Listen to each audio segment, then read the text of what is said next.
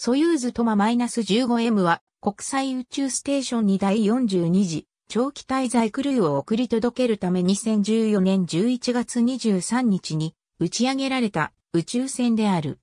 ソユーズトマ -15M は1967年に初飛行して以来124機目のソユーズ宇宙船である。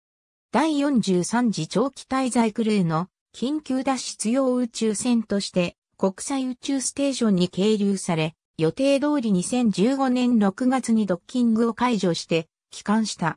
ソユーズ TMA-15M はカザフスタンのバイコヌール宇宙基地から2014年11月23日21時1分、 UTC にソユーズ FG ロケットで打ち上げられた。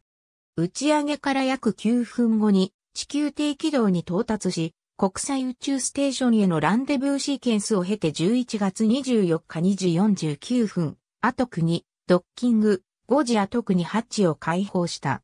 ソユーズドマ -15M は緊急脱出用として2015年5月に予定されていた期間まで係留されたが、期間は翌月にずれ込んだ。2015年6月11日にシュカプレロフ、クリストフォレッティ、バーツの3名が登場して地球に帰還した。